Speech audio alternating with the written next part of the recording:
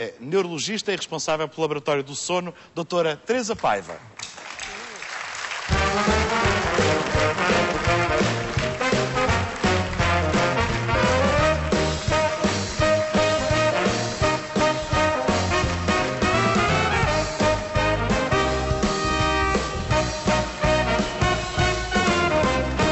Por favor. No, fica ali, fica ali, fica ali, fica. Não, não, não, fica aí. Fica. Doutora, doutora Teresa Paiva, diga-nos, por favor, salve este homem. Não me traumatize. Não, eu- o que eu vou dizer não é para, para ele me dar boa nota. Mas eu ah, acho que, ouvindo a história, obviamente não se pode fazer um diagnóstico. Ah, e provavelmente há várias causas. Mas a causa mais importante que leva o professor a aguentar isto ah, tão bem, como é patente publicamente, é por características específicas que ele deve ter e que são partilhadas por cerca de 5 a 8% da população, apenas. Ah, e essas características o que é que são? Nós temos o nosso sono, nós temos ah, 50% que são supletivos, podemos não dormir, e 40% que são essenciais. E 10% que são para o que der e vier. Pronto. E eh, as pessoas que têm o sono curto, que é o que plausivelmente o professor Marcelo de Sousa tem, eh, dormem aquela fases do sono essencial, que é o sono profundo e o sono REM, portanto, dormem os 40% tal e qual como eu ou o Malato ou outra pessoa qualquer, e dormem muito menos daquela parte supletiva.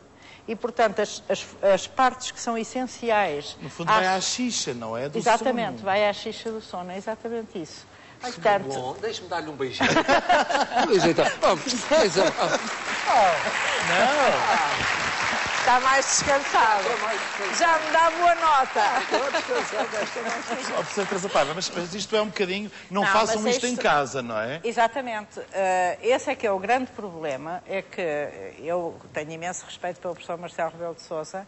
Acho que o professor Marcelo é, de facto, um exemplo em muita coisa, mas no sono não deve ser um exemplo Uhum. para a maioria das Serei eu com as minhas 10 horas? Você, Diga, diga, diga, Einstein. diga, se não é normal. Diga lá, se não é Não, patológico. é- há- quer dizer, é- há pessoas que são, eh, têm o sono curto. O professor Marcelo, a Madonna também tem o sono Ah, o curto. professor Marcelo e a Madonna, veja! Não, é maravilhoso! Madonna, Madonna. Desculpem! O Napoleão também tinha o sono Ah, curto. melhor, do que a tem que arranjar pessoas que... O Einstein, o Einstein O dormia 10 horas. Einstein! Dormia 10 horas. Portanto, portanto é, é aquilo que eu estou a tentar dizer é que dormir pouco ou muito não é de forma alguma sinal de inteligência. Porque há pessoas muito inteligentes que dormem pouco e pessoas muito inteligentes que dormem muito.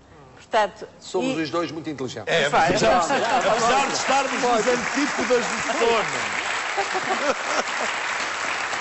Mas esta... Mas esta... Oh, professor, já agora, o professor não se sente cansado? Não, se sente, não dorme uma Bem, eu vou confessar, Não dorme uma vou confessar duas coisas. Primeiro, já dormi menos.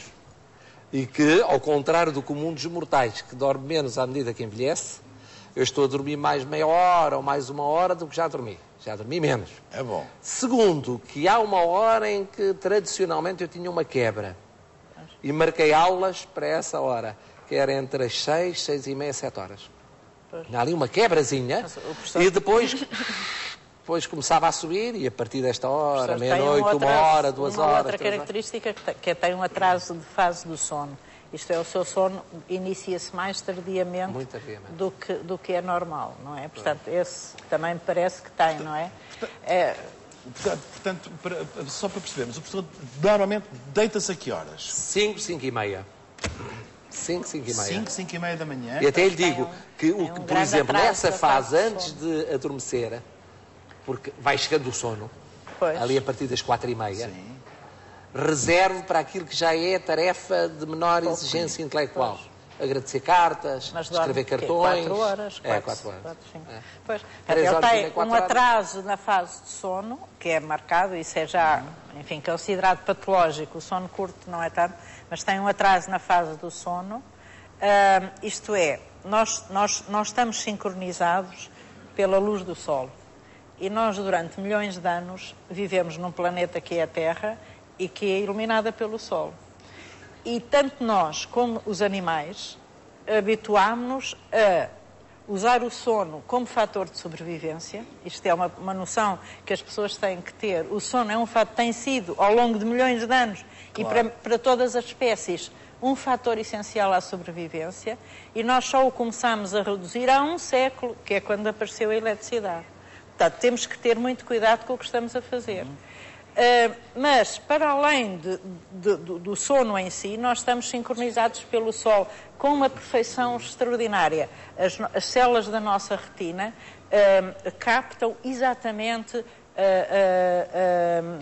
as radiações solares para nos sincronizarem e para inf- levarem informações para o cérebro Durante o sono.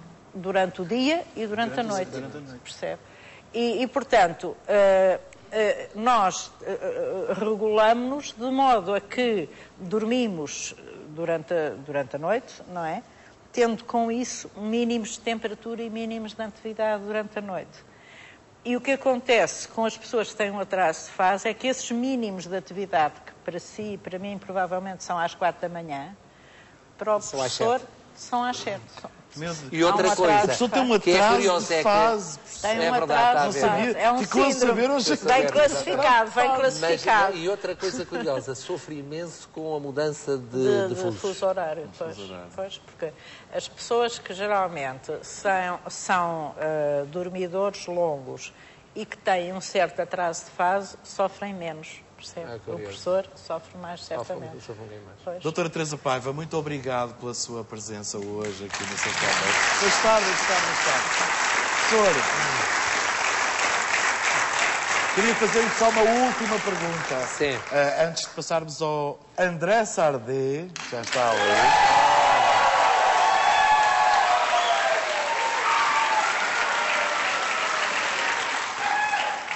O professor tem noção, tem noção que, de facto, é uma pessoa muito, muito, muito, muito, muito popular em, em Portugal, não é? Muito popular é, é- é relativo. A televisão dá uma popularidade que no seu caso tem mérito, no meu não tem muito mérito. Não é que são muitos anos bem, em tá, que ando tá aqui bem, e tá, tal. tá. Portanto, temos de relativizar isso. Pediram para lhe fazer essa pergunta e é também uma pergunta que eu queria fazer-lhe. Ah, vamos tê-lo como Presidente da República algum dia ou não? Eu hoje falei nisso. Devo dizer o seguinte: não é para mim, não é para mim um objetivo de vida. Se calhar calhou-se, não calhar eu não sou menos feliz por isso. Eu voto em si!